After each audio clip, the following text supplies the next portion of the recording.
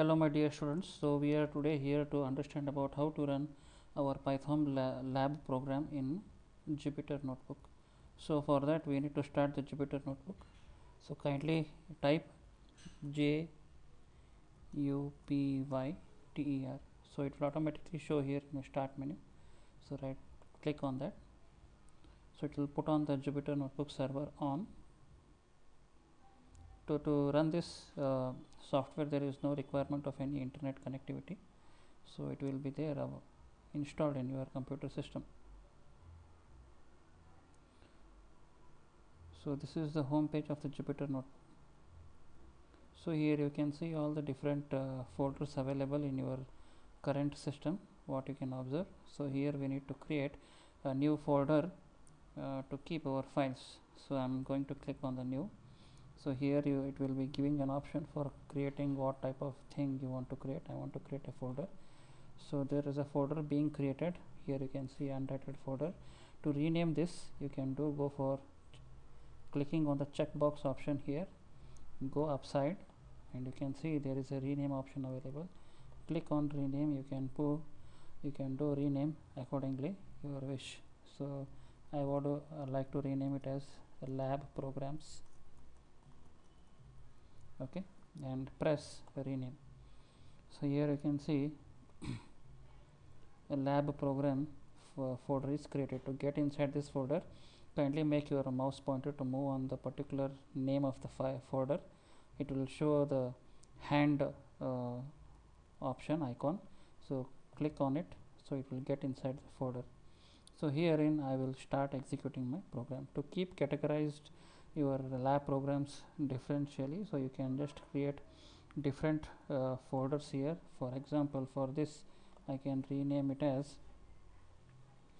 uh, program number one. So here this in this we have uh, we will keep about my program number one. So now how to execute my program number one? Okay. So here I will create a new notebook or else you can say like a new python file so I will click on the option python 3 IPY kernel. So it will get you to the IPY kernel. That is where we can execute our python program. So here we got created a new notebook wherein we can execute our program. So here you can see there are different cell options available. You can either add up a new cell okay or either you can delete the new cell. Either you can delete the new cell so now I want to execute a program in this or else before that we can even change the name of the notebook where it is showing it as untitled. You can click on it and you can see option wherein I can rename. So you can rename it as program number 1 and press rename. Okay. So here you can go back to your uh, folder repository where you have already created your file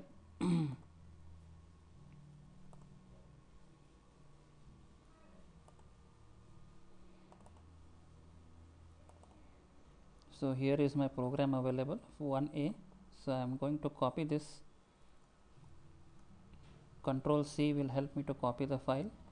And I am going back to my Jupyter notebook. And I am going to place my mouse pointer here to check the, to get the console option.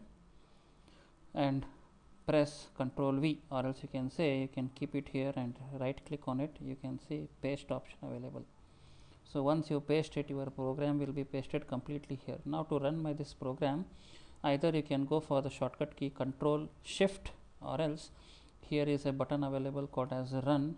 So if you press run it will ask you to enter the first test marks. So make your mouse pointer click on this and enter the first test marks. So as usual you know about the first program is for getting the average of the first uh, best of the two test marks available.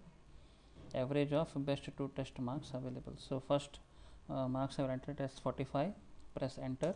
It will ask for the second test marks press 40 that means I am giving an option as 40 again press enter. Uh, it will ask for the third test mark. I am giving it as 48 so best among these three are 48 and 45 so it should get the average between 48 and 45 so here it is showing the output as 46.5 so this is how we can execute the lab program. So, for suppose if you want to go back either you can just close the file and you can just see that in your program number 1 folder you can see your first notebook available. So, to run out so uh, this is what the uh, lab program number 1 we have this is for uh, 1a program 1a you can just rename it as program 1a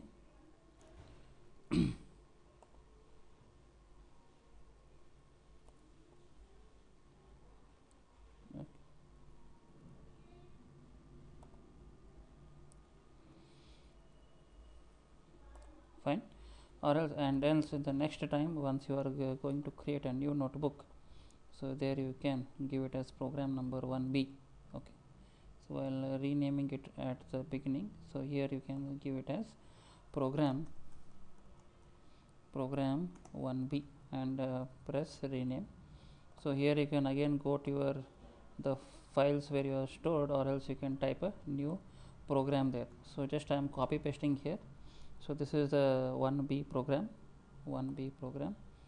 And again go for a paste option so here we are going to give the number which will detect the palindrome whether the number is palindrome or not and how many number of uh, means like how many number of times it has been repeating each number of uh, okay? It is 1 to 1 how many times it is repeating. So to run this program either you can click press run here.